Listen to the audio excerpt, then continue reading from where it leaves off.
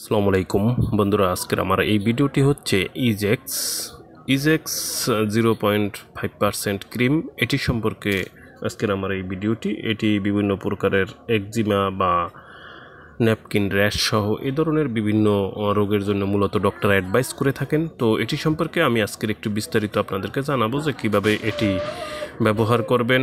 এছাড়া এটি কী কী রোগের জন্য ব্যবহার করবেন? তো সে সম্পর্কিত পুরো বিস্তারিত জানতে হলে আপনাদেরকে পুরো ভিডিওটি ভালোভাবে দেখতে হবে। আর যারা এখন আমার চ্যানেলটি সাবস্ক্রাইব করেননি, তারা আমার চ্যানেলটি সাবস্ক্রাইব করে নেবেন এবং নোটিফিকেশন বেলটি অবশ্যই অন করে নেবেন যাতে পরবর্তীতে নতুন ভিডিও দেওয়ার সাথে সাথে আপডেট পেয়ে যান। তো যাই হোক Ezex Ezex zero point zero five percent cream এটি মূলত ক্লোবেটাসন বিউটারেট। এই গ্রুপের ঔষধ ইজেক্স নামে রয়েছে। এটি স্কোয়ার ফার্মাসিউটিক্যালস লিমিটেডের একটি ঔষধ।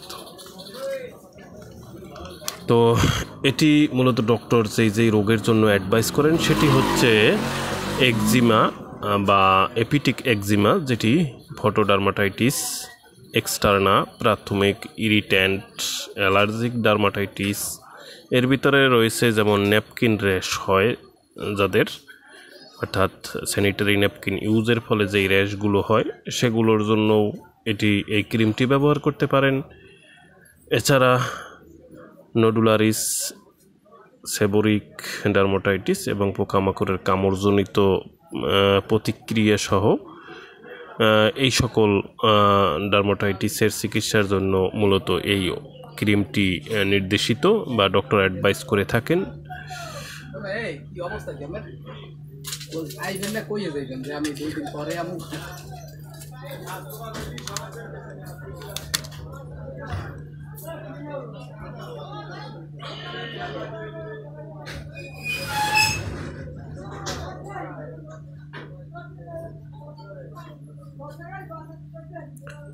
হ্যাঁ হ্যাঁ, এটি একটি পঁচিশ গ্রামের ক্রিম। কোনো প্রকার এটির মাত্রা এবং ব্যবহার বিধি সম্পর্কেও আপনাদেরকে একটু বলছি।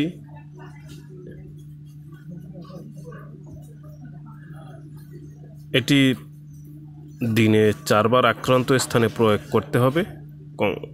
অর্থাৎ তিন থেকে চারবার আপনি আক্রান্ত স্থানে এই ক্রিমটি ব্যবহার করবেন।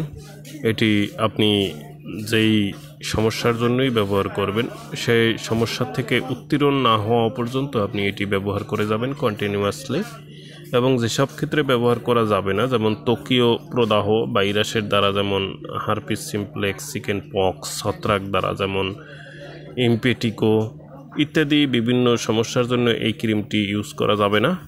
এছাড়া এটির কিছু পার্শ্ব প্রতিক্রিয়া, যেমন অতি সংবেদনশীলতার উপসর্গ দেখা দিলে সঙ্গে সঙ্গে প্রয়োগ করা বন্ধ করতে হবে। শরীরের বৃহৎ অংশ কোলোবিটাসন বিউটারেট দ্বারা চিকিৎসা করা হলে কিছু রোগীর ক্ষেত্রে পর্যাপ্ত স্টেরয়েডের পরিশোষণ, অ্যাড্রেনাল সাসপেশন ঘটাতে পারে।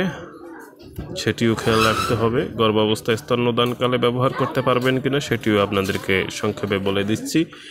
সেটি হচ্ছে গর্ভাবস্থায় নিরাপত্তার ক্ষেত্রে পর্যাপ্ত কোনো তথ্য নেই। গর্ভবর্তী প্রাণীর ক্ষেত্রে টোকিও ত্বকীয় কাটিরয়েডের ব্যবহার ভ্রূণের বৃদ্ধি এবং বিকাশ ব্যবহার করতে পারে।